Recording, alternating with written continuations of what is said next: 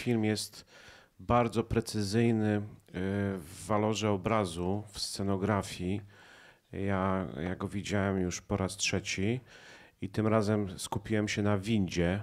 Y, to jest powtarzający się motyw, kiedy e, e, rodzice albo, e, albo sam Zdzisław, albo sama Zosia wjeżdżają windą do Tomka i ta winda się zmienia na przestrzeni, na przestrzeni tych lat. Od takiej szubienicy z napisem PZPR poprzez na, na, nalepionego Matkę Boską, aż ta ostatnia winda z lat 90., zupełnie taka wyczyszczona. Tak samo klatka schodowa i w ogóle wnętrza z, z lat 70., 80., 90. Ostatnia rodzina miała premierę amerykańską na festiwalu w Chicago, czyli Chicago International Film Festival, nie festiwalu filmów polskich w Chicago. Bardzo ważny festiwal, gdzie Geraldine Chaplin była tam szefową jury i w ogóle to, to jury było niezłe i dostaliśmy tam dwie nagrody, które mnie niebywale ucieszyły, bo to była nagroda za scenografię i za zdjęcia. I Ucieszyło mnie to dlatego, że e, do tego momentu było takie przekonanie, że ten film e, jest taki jakby mocno aktorski, że jakby jest ciekawy, że jest w ogóle intrygujący i tak dalej. Natomiast te aspekty powiedzmy bardziej techniczne gdzieś tam e, przelatywały, a to jest bardzo ważny element tej historii. Podobnie zresztą jak charakteryzacja i kostiumy i bez tego to by nie było tak, takie kompleksowe. Jakby też myślę, że, przepraszam, że mówię za aktorów, ale myślę, że każda z tych ról by była słabsza też, jakby tutaj była jakaś większa, większa wtopa. Jak się spotkałem z Jagną Jańską po raz pierwszy, a ja z nią wcześniej nie pracowałem, no to ona była zaintrygowała, zaintrygowana stopniem uszczegółowienia niektórych rzeczy, no bo to wynikało z tych materiałów archiwalnych, gdzie można było się naprawdę doszukać największych pierdół, jakie, jakie można było znaleźć. To oczywiście też było, działało w drugą stronę. To znaczy myśmy wiedzieli, że te mieszkania muszą wyglądać tak jak te materiały po prostu, że, to, że my nie możemy tutaj pozwolić sobie na żadne odstępstwo. E, nawet jeżeli realizacyjnie to nam by miało jakoś tam służyć, ponieważ można wejść na YouTube'a, wpisać Beksińscy i wyskakują te materiały. Jakby to jest oczywiście jakaś tam, nie wiem, 2% tego może, natomiast widać jak ta kuchnia wyglądała, jak wygląda ta pracownia i tak dalej, i tak dalej. No Jagna wykazała się tak bardzo, że zrobiła lepszą pracownię Beksińskiego niż jest e, odtworzona w Muzeum Historycznym w Sanoku. Co jest jakimś tam małym konfliktem, chyba gdzieś tam podskudnie ciągle, tak mi się wydaje. Tam był temat gdzie było jakieś chyba los, jakieś takie... To, to była bardzo ciekawa dyskusja w ogóle. No wiesz, ale te budżety e, muzealne, a budżety filmowe to jest... Przecież cały testament Beksińskiego dostał Muzeum w Sanoku. Tak, dzięki czemu ochroniarze mają lodówki od Beksińskiego. To jest super tam, nie? A, a krzesła, które były w pokoju matki chyba, to one stoją tam w to, znaczy to, jest, to jest w ogóle ekstra. To jest, to jest takie, takie połączenie tego. To tak pasuje do tej rodziny zresztą. W, w każdym razie, no. Um, ta... a, a, gdzie, gdzie to, to, to, to, e, bo to mnie ciekawi, czy to było jakieś osiedle, no tam jest osiedle też oczywiście. Tak, znaczy to osiedle to był też yy, duży, przepraszam, kolec w dupie naprawdę, ponieważ Służew nad Dolinką jest tak pięknym i charakterystycznym osiedlem, że to musiał być Służew nad Dolinką, tylko że znowu tutaj to e, brzemię 30 lat odbijało się na każdym poziomie, no bo nawet jeżeli byśmy kręcili w prawdziwych mieszkaniach jednym i drugim, gdzie do jednego mieliśmy na pewno dostęp i na przykład łazienka Tomka się w ogóle nie zmieniła i nawet mieliśmy tam kręcić, ale w końcuśmy nie kręcili. Natomiast mieszkanie Zdzisława zostało sprzedane i tak dalej, i tak dalej. Powiedzmy, że moglibyśmy mieć to samo, tylko że na, na, w tej samej kondygnacji, nie? znaczy w tym samym pionie. Tylko, że to jest bez sensu. To jest bez sensu, bo za oknami jest 2015 rok, na, na jakby na czas, na, na, czas zdjęć. I bardzo naturalnie, dosyć szybko, też dzięki temu, że Kacper Fetarz, który był operatorem, z którym się bardzo długo znam i wiele rzeczy dziwnych żeśmy już razem robili, on też ma taki epizod w postprodukcji.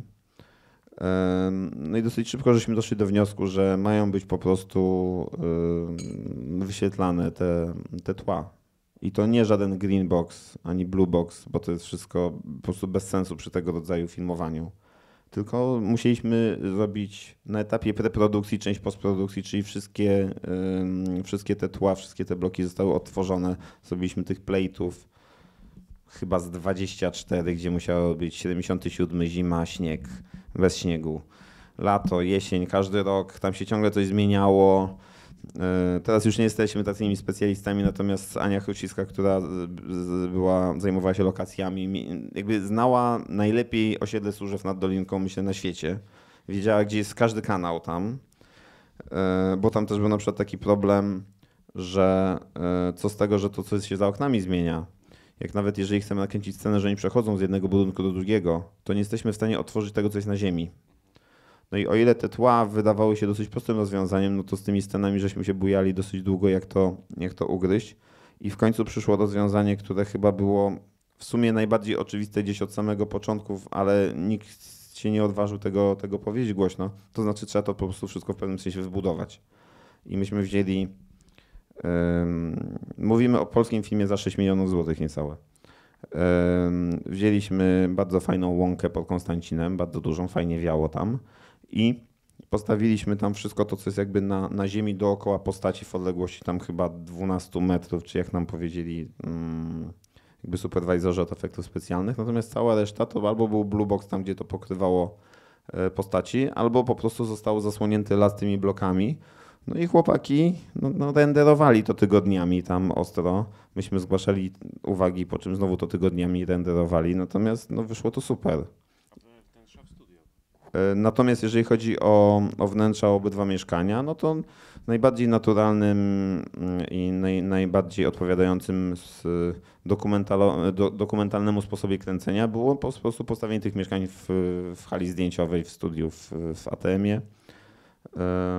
Co wydawało się na początku kosztowne, natomiast z racji tego, że myśmy tam mieli 24 chyba z 37 dni, no to było bardzo naturalne. Fajne były sytuacje, zresztą to był chyba Oli pierwszy dzień albo drugi na, na, na, na, na- tej hali, y, gdzie jest ta sytuacja z pajączkiem, gdzie Zosia chodzi po domu. No to tam jeszcze oprócz tego, że to był master shot ym, i oprócz tego, że są te projekcje za czterema oknami po dwóch stronach, to jeszcze były deszczownice. I to było, no i to było super. Tam no, no, dźwiękowcy tu się musieli bardzo nagimnastykować, bo ym, było parę takich momentów, że ta produkcja mogła się sypnąć. Jeden był na parę dni przed zdjęciami. Jak się okazało, że super, że są rzutniki, że to wszystko działa, natomiast to wszystko tak po prostu nieprawdopodobnie huczało, że oni by musieli krzyczeć. No. I tu jakby się zbuntować, no i żeśmy robili jakieś takie chałupnicze obudowy na te, na te rzutniki, przez co z, z boku to wyglądało jak taki statek kosmiczny trochę wszystko. Ale nam się to bardzo podobało, bo nie wiem, czy byśmy tę kapsułę tych tragicznych zdarzeń tak zdrowo przeszli, jak przechodziliśmy, gdyby nie to, że się ściany czasem otwierały, albo że sufitu nie było i d- wie, wiele metrów nad nami wiała jakaś pusta przestrzeń reflektorów wielka, a my z Andrzejem na tych osobnych małżeńskich tapczanikach żeśmy snuli rozmowy abstrakcyjne. Tak, tam, tam jeszcze to jest ważna rzecz a propos właśnie zdjęć, no, że myśmy podjęli decyzję, że my nie chcemy świecić, że tak powiem, studyjnie, tylko że chcemy walczyć o to, żeby był jak najbardziej naturalny charakter tego światła. W, czyli budujemy wszystko tak, jakby było w bloku, ale nie robimy tego w bloku. No to jakby jest trochę paradoksalne, ale, Drogie. ale, ale gdzieś, gdzieś, o to, gdzieś o to chodziło. No. A y, A i przepraszam, bo chciałem jakby dojść do takiej, bo była taka puenta, która mi bardzo dużo dała energii. W chyba pierwszy dzień zdjęciowy albo dzień przed pierwszym dniem zdjęciowym, ja chyba, chyba dzień przed, bo ja nie wiem, czy wyście byli wtedy na planie już, przyjechał Dmochowski, prawdziwy, nie chyra. Ym, I przyjechał też, chyba tego samego dnia albo następnego, przyjechał dyrektor Banach, czyli dyrektor Muzeum Historycznego Sanoku, czyli dwóch moim zdaniem największych ekspertów, jeżeli chodzi o jakby szczegół tego, co tam powinno być. No Banach się w ogóle rozjechał emocjonalnie tam, bardzo. Naprawdę przysiadł na tym łóżku właśnie tam, gdzie, tam, gdzie Ola siedzi w filmie i, i nie mógł uwierzyć. Bo ja myślę, że to jest, że ta rzeczywistość się tak zagina y, w takich sytuacjach, że to jest, że to jakby Matrix przy tym to jest banał, nie? Ja, ja się o to troszeczkę otarłem, bo miałem taką sekwencję zdarzeń wcześniej przy przygotowaniach, że poszliśmy na dokumentację do prawdziwego mieszkania Tomka i zobaczyć ten, ten, ten dach, z którego Zdzisław go podglądał, czyli scena, która finalnie nie weszła do filmu. Um,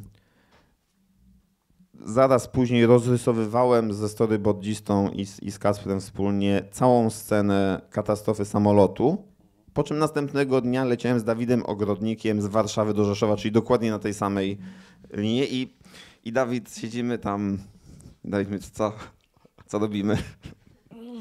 I, to, i to, to było takie bardzo dziwne i podejrzewam, że to jest nic w porównaniu z tym, co oni przeżyli. Natomiast oczywiście y, był jeszcze temat obrazów, których my oczywiście oryginałów nie mogliśmy w ogóle, znaczy nie chcieliśmy użyć, bo nikt by tego nie ubezpieczył w ogóle, jakby zbyt duże jakby zagrożenie. Zrobiliśmy takie bardzo realistyczne fotokopie tych obrazów. No i od Mochowskiego usłyszeliśmy najlepszy z komplementów możliwych, bo on później tam oprzedł sobie tam wszystko i on, on jest taki jak w filmie naprawdę, jest taki też. Y, I mówi do tam, do, do Leszka Bodzaka, do producenta, słuchaj, a po, a po zdjęciach co, co będziecie robić z tymi, z tymi kopiami? Kupił, kupił Nie, fotokopię. Nie, nie, nie, absolutnie tam. Znaczy, znaczy chciał, znaczy tak zagajał, temat gdzieś się zawiesił, ale, to- ale to, to było naprawdę urocze. No i jakby do, to takie rzeczy dodają, dodają kopa, szczególnie w momencie jakby przed, y, znaczy jakby na początku zdjęć. Nie? Olu, a jaka scena była najtrudniejsza dla ciebie i dlaczego? Nie było dla mnie żadnej najtrudniejszej sceny. A jaka była najłatwiejsza? Większość była najłatwiejsza. Ten, teraz tak mówi. Jak leżałaś Teraz tam tak e, i nie, nieżywa, a on zrobił zbliżenie. e, To była bardzo trudna No scena. Właśnie. Bo ja musiałam, prawda? Ale jak się okazało, na postprodukcji byłam niezła. Tak, okazało się, że Ola jako jedyna nie wymaga tego, żeby ją za przeproszeniem frizować. Czyli myśmy się trochę wyspecjalizowali, zarówno jeżeli chodzi o cmentarze w, w Warszawie i okolicach, jak i o to, jak ym, właśnie unieruchomić postaci w ramach kadru, bo niestety nawet jeżeli się ma najlepszych aktorów, jakich się wymarzy, to oni zawsze będą oddychać jako trupy, nie?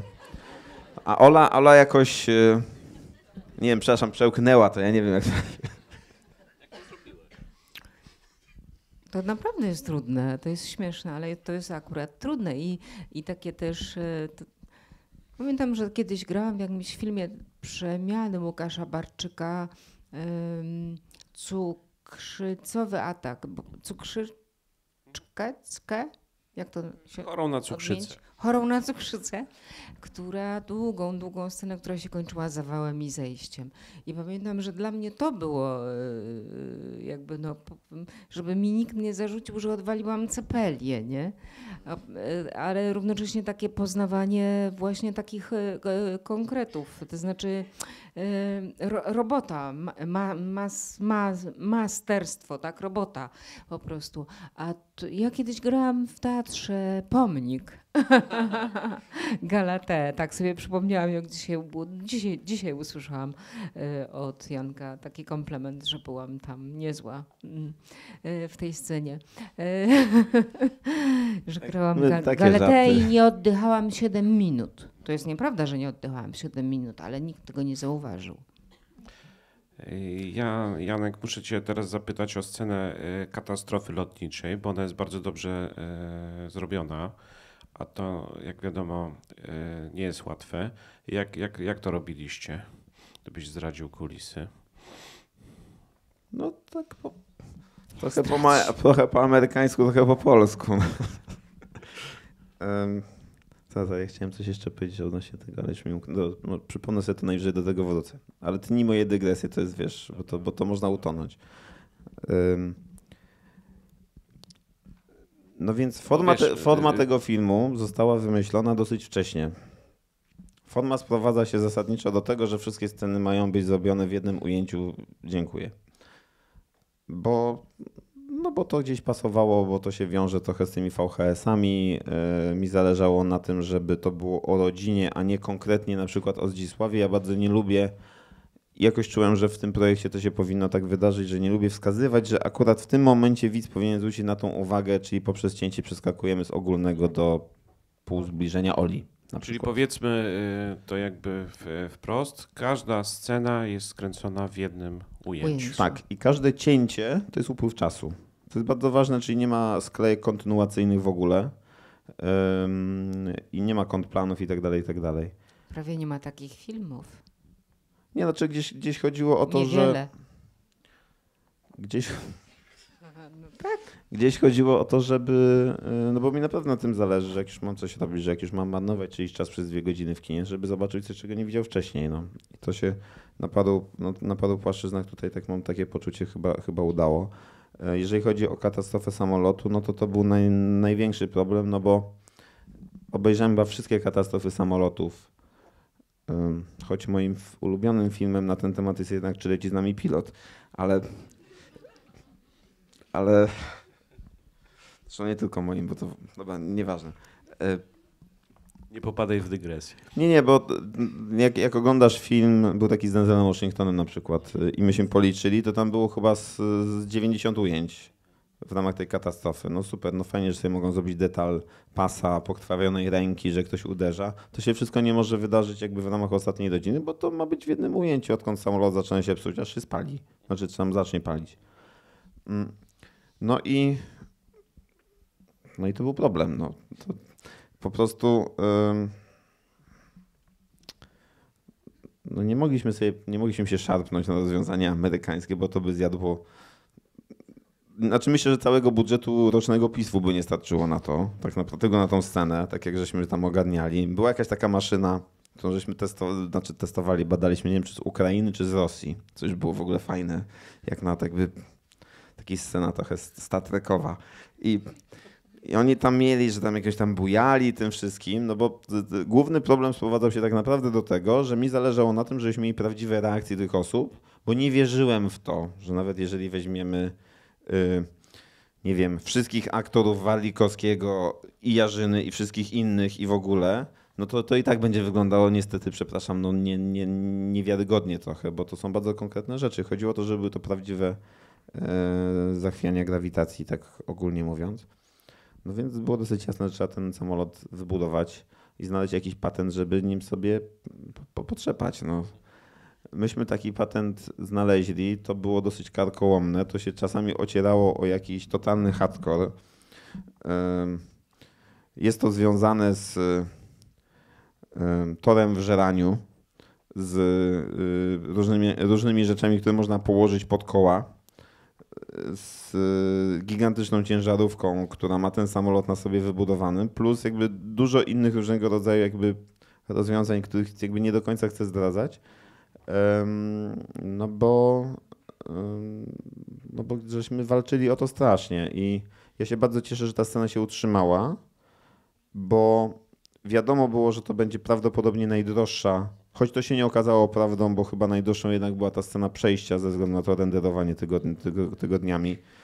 Em, A to było w ryczałcie, bo nieważne. E, W każdym razie chodzi o to, że em, Udało się. Wiesz, znaczy, dla mnie chodziło o to, że ja bym tą scenę i wyrzucił z tego scenariusza. Natomiast widziałem tak fantastyczne po prostu dokładnie beksińskie poczucie humoru w sytuacji ironicznej, że gość, który wielokrotnie próbuje się zabić, przeżywa katastrofę samolotu, że po prostu to był taki argument, wobec którego mówi, no, no kurde, no nie, no to musi być, nie? że to jest jakby, że to pasuje.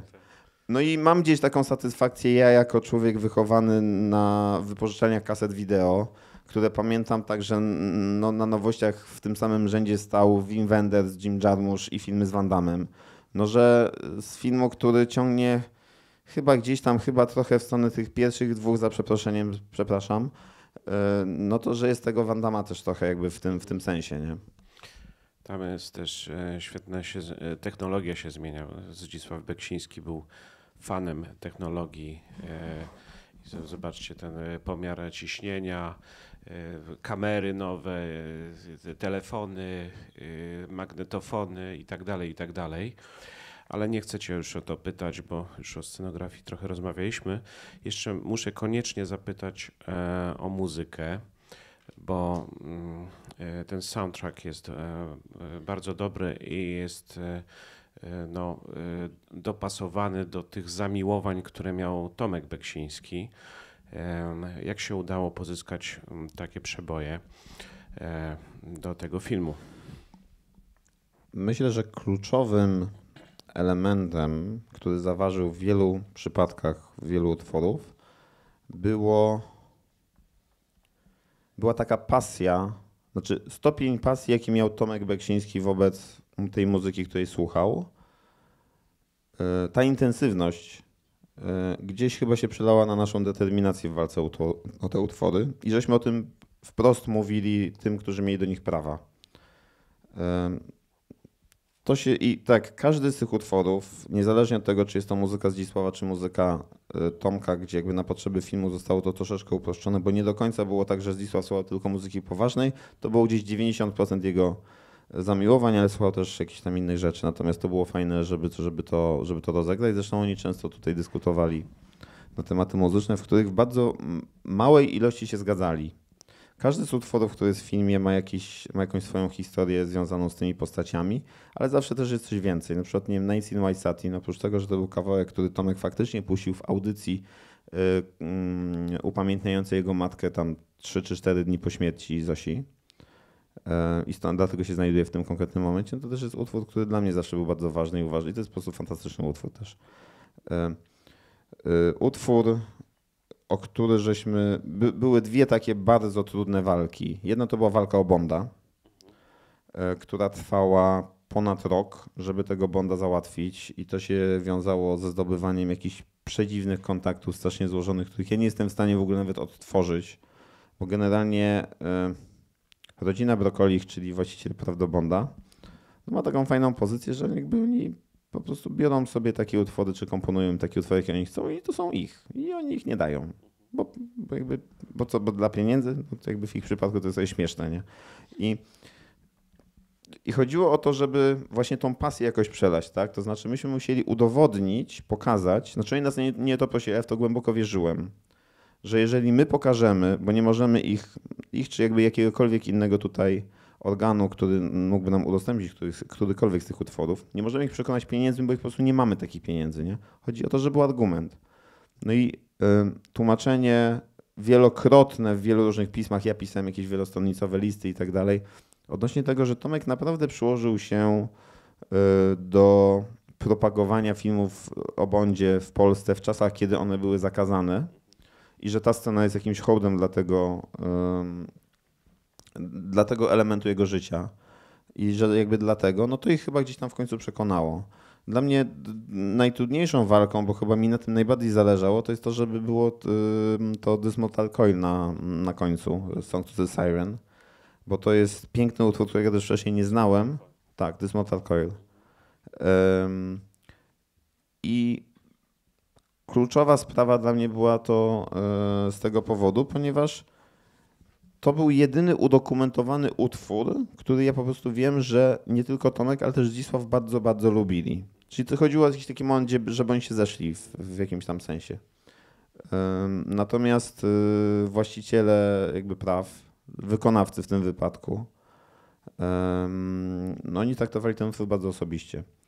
I na początku nam odmówili. Zresztą oni tak naprawdę odmawiali właściwie prawie że wszystkim, ponieważ już Lynch na etapie Blue Velvet chciał ten kawałek mieć do filmu i go w ogóle odpuścili. On do Zagubionej Autostrady go pozyskał, ale tylko do filmu też nie, nie na ścieżkę, bo, um, bo jakby to się nie udało. I to jest właściwie jedyny przykład, gdzie ten utwór został w, w innym filmie wykorzystany. Myśmy mieli dwa podejścia. Za pierwszym razem żeśmy polegli, za drugim razem ja znowu napisałem bardzo szczegółowy list, podając w trochę jakby rozszerzonej wersji to, co przed chwilą powiedziałem. No i to ich chyba w końcu przekonało. Super, bo ten film e, świetnie puentuje e, cały film Ostatnia Rodzina. To jest też, zwracam się do moich studentów, których tu widzę, dla Was nauka, że jak się chce pozyskać jakiś bardzo znany utwór, to można zawalczyć o niego i, e, i, i to się po prostu udaje. Proszę Państwa, e, może mają Państwo jakieś pytania do naszych gości. E, proszę bardzo. film ma w sobie w warstwie technicznej bardzo dużo elementów związanych z kinem dokumentalnym. Jakby widać to.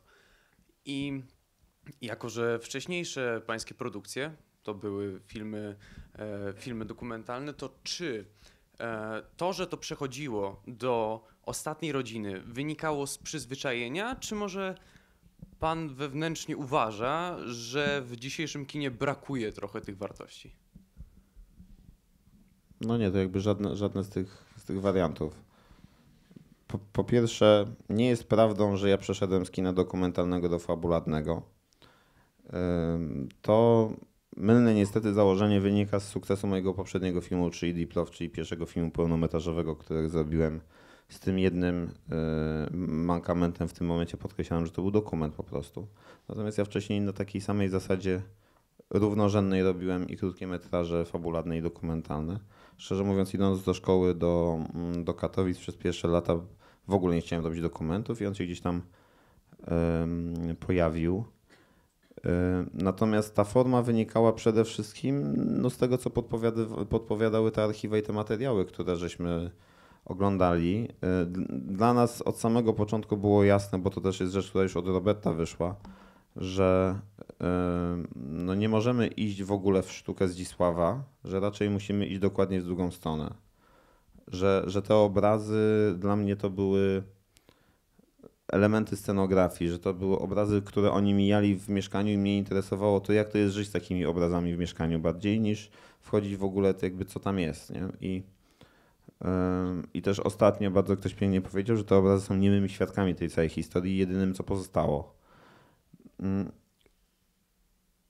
Dla mnie inną też bardzo ważną rzeczą było to, co już jakby wcześniej powiedziałem, to znaczy to jest film o rodzinie. To znaczy ta rodzina jest głównym bohaterem bez tak naprawdę bardzo szczegółowego, bardzo mocnego wyróżnienia któregokolwiek z przynajmniej tej e, ostatniej trójcy, że tak powiem.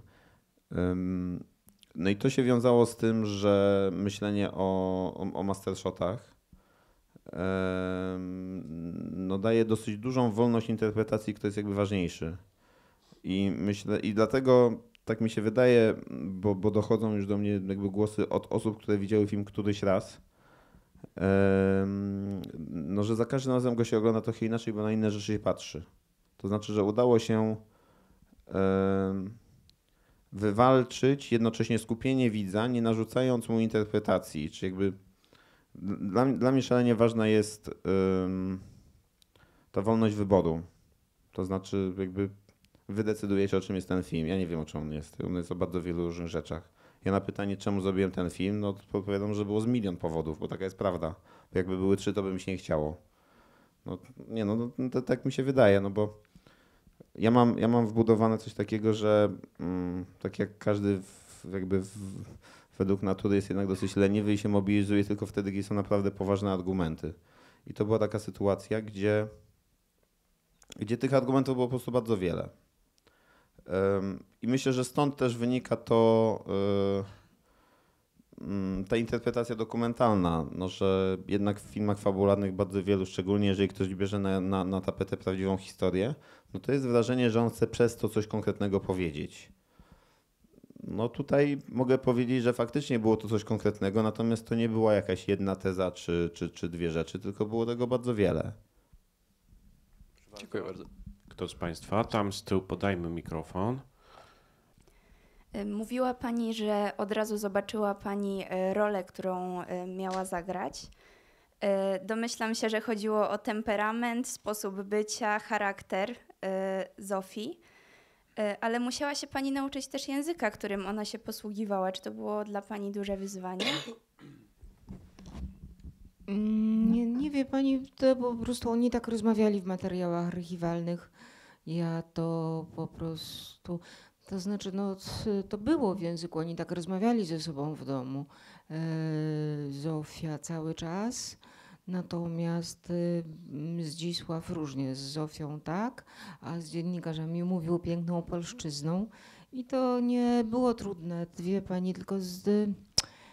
To, to jest coś takiego w budowaniu roli, jak jakiś taki, jakby to nazwać, e, takie, takie drobne olśnienie, taki zaczep. y, to odczuwam jako zaczep taki, jak alpinista, który zaczepia się i już czuje, że nie spadnie.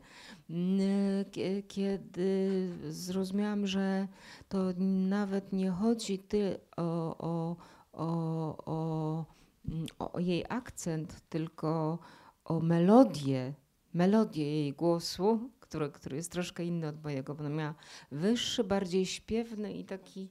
Słucham? To jest tym głosem coś powiedzieć? Do mnie, to ja jestem Tomek. Ale ja już nie pamiętam żadnej... Ale ja już nie pamiętam żadnej kwestii tego filmu. to było tak dawno. No ale o co tobie chodzi? O co tobie, nie kurwa, nie kurwa, tylko powiedz jeszcze raz spokojnie, o co tobie chodzi. No, I e, tak, tak, to, to właśnie dokładnie jak, e, jakby ja, jak trafiłam na jej melodię, na jej melo- ale melodia nie jest związana tylko z melodią, jakby z muzyką, ale także w melodii głosu jest, ym, no, dla, dla mnie, jako dla aktorki, kiedy pracuję i natrafiam y, w muzyce głosu jest y, bardzo wiele. Jest y, temperament, jest, ym, jest emocjonalność, jest też stan zdrowia, no jest wiek oczywiście, co tutaj miało znaczenie. Także właśnie kiedy, kiedy natraf, jakby odkryłam te, mm, poczułam tę melodykę tego głosu, to czułam, że no już, już, już witam się z gąską. Proszę Państwa, bardzo dziękujemy za kolejne spotkanie e, w klubie Gdyńskiej Szkoły Filmowej. Dzisiejszymi gośćmi była Aleksandra Konieczna i Jan P. Matuszyński. Dziękuję. Dziękujemy bardzo Wam.